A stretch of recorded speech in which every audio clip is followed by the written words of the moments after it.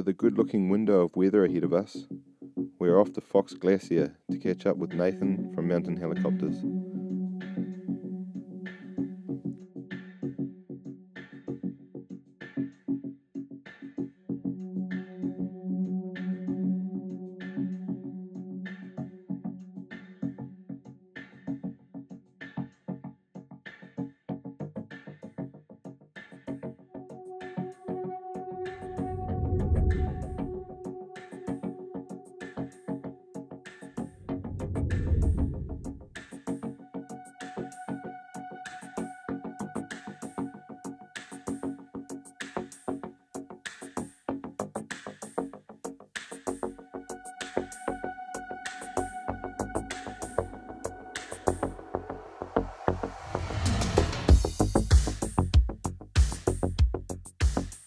As usual, Nathan dropped us off near a great looking campsite. It didn't take long before we had set up camp and we were off looking for some animals.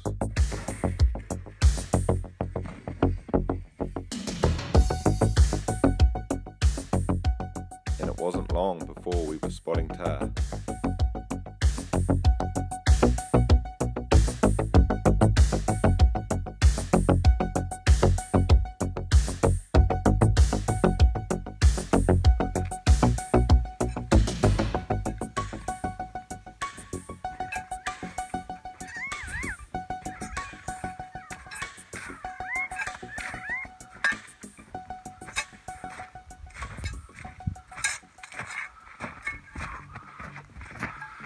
Seen a pretty good group of tahr here. Looks like the good bull makes them, so go and check it out, eh?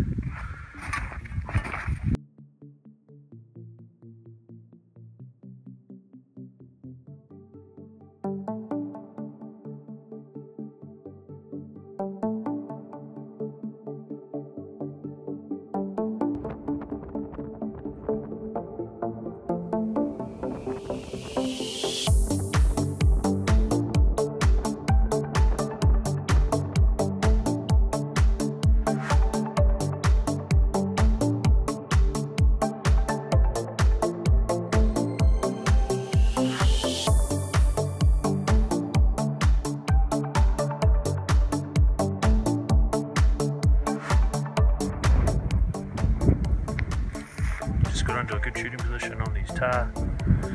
The best ball was about 12 and a half inches, but you're really looking for something a little bit bigger, so I'm going to give these ones a miss today.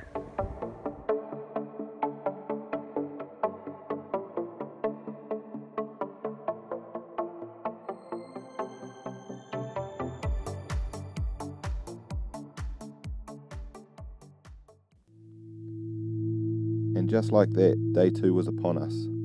We crawled out of our icy tents before daylight and set off with high expectations.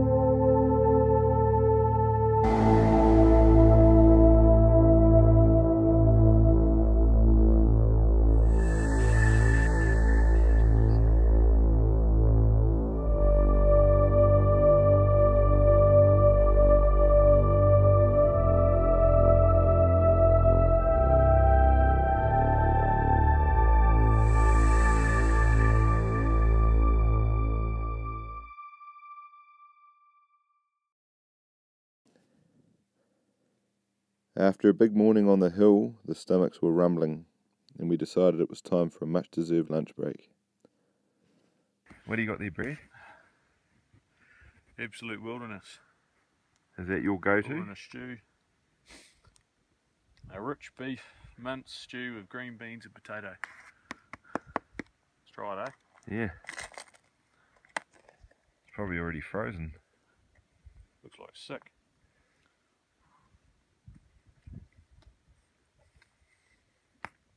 Tastes pretty good though. Warms your old tummy up. Our freeze-dried meals disappeared fast, as we were both eager to carry on with our hunt. We knew with the amount of mature bulls around, it was only a matter of time before we saw one worth taking.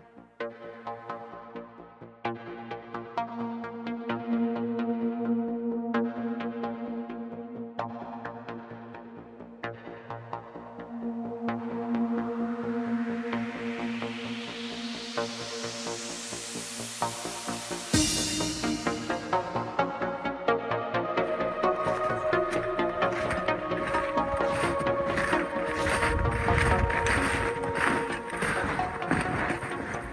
we've got a good group of tahr just over the ridge here, about 400 yards away. There's a really good ball in there. Hopefully it's a shooter. We're going to go and have a look. Let's go. Right, so we've just closed the gap on this bull.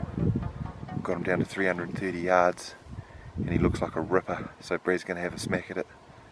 See how we get on. Let's go, mate.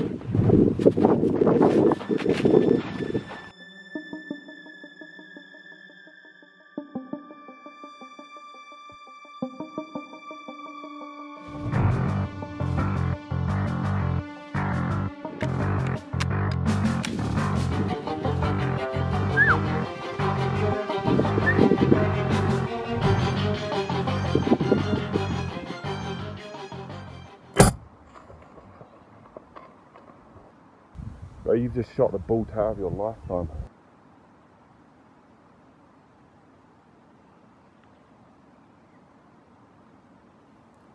Brad had just pulled off a beautiful 330 yard shot to secure this very impressive bull.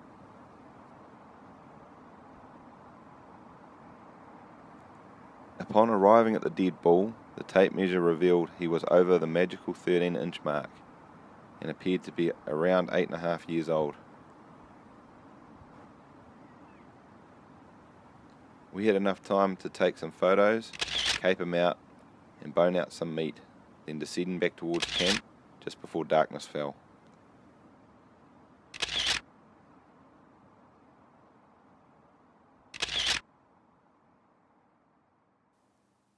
With some discussion that night around camp and a couple of whiskies, we hatched a plan to try and find a chamois buck the next morning.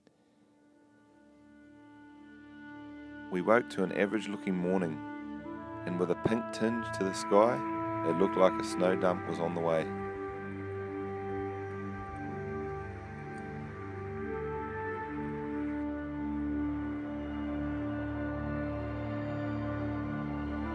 This area trying to secure a chamois. The weather's started closing, so just found a cave up the bank here. Gonna try and pull on that. Down the cover for a little bit. Hopefully it passes over. It's got quite heavy actually. So. Pretty cool looking country behind here. You can't see any of it now, so yeah, get up in there and shelter up.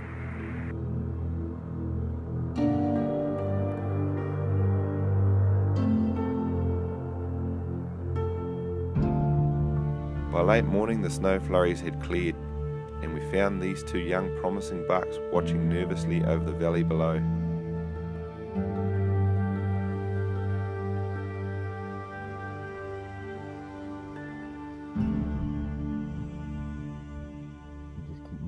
Shortly afterwards, Brad spotted this mature buck holding a large group of does and young ones in the tussock below.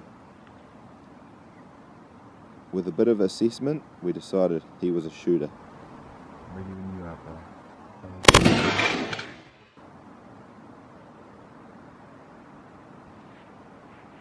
Load up, brother.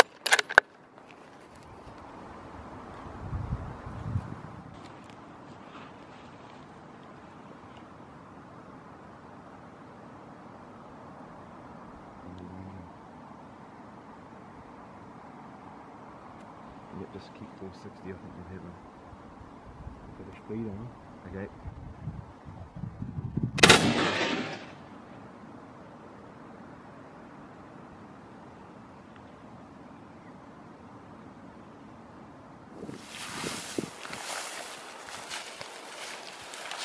Pretty stoked. Shot my first chamois buck just over the hilly, so gonna get in and retrieve him. So beauty. Let's go.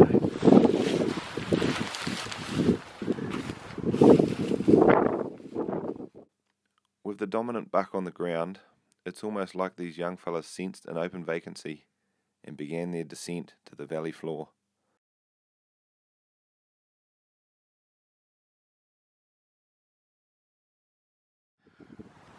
Well, shit, here we go. Yeah, I shot my first chamois buck. Just measured him at uh, 9 inches. So, yeah, pretty, pretty stoked. Um, yeah, cheers, Phil. Beauty, Alright, man. Bloody awesome. Congratulations. There's a bit of a cock off on the first shot, as you as you might see in the video. A little bit high, slightly high, eh? Just Yeah. just skimmed his um, probably just come through here, really, didn't it? Yep. And uh, yeah, barreled him on the next one, so 470 yards. Yeah, pretty cool. Just just got him before this wind, didn't we? Yep. And yeah, then the wind bloody picked up, so that was awesome, man. Good on you, Bloody mate. rad. Well done. Choice.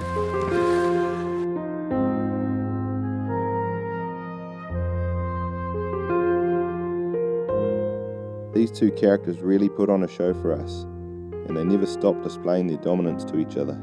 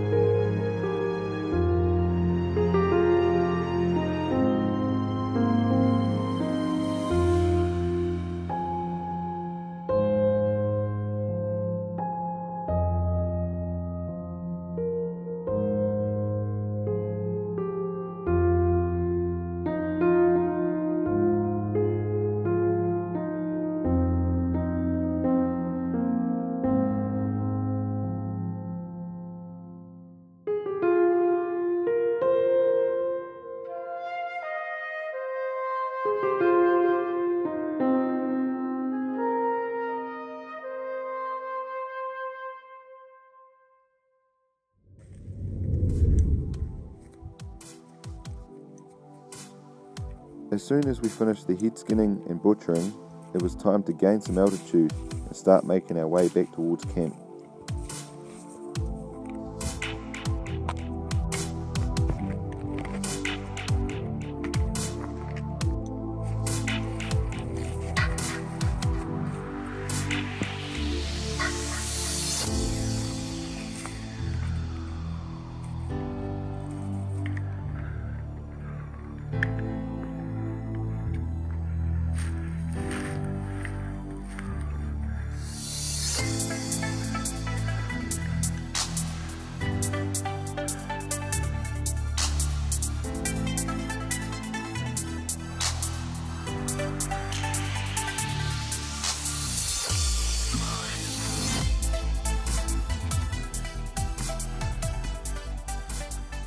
As we climbed up onto a tussock bench, only 500 metres from camp, I spotted this great looking bull making his way back to the bluffs.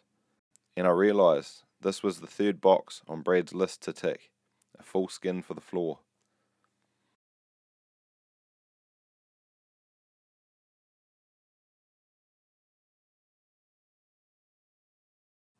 As darkness was approaching very fast, there was no time to waste, so we got set up for the shot.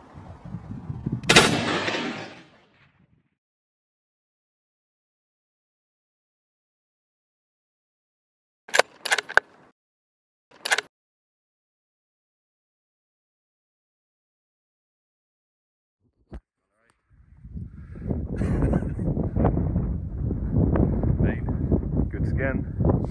Yeah, be good for skin. Yep.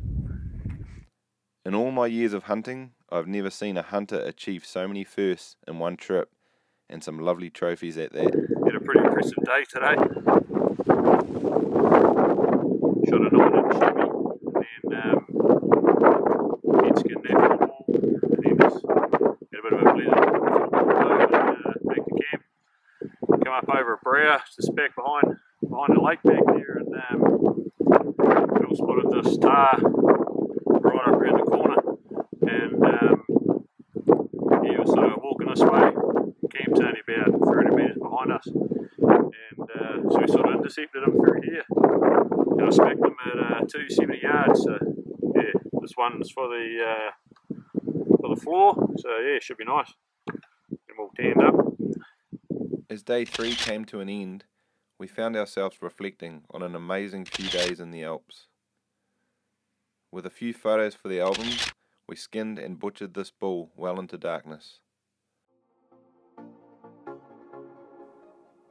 After a small sleep in the next morning, we snapped a few more pics, packed up camp, and waited for our kerosene taxi home.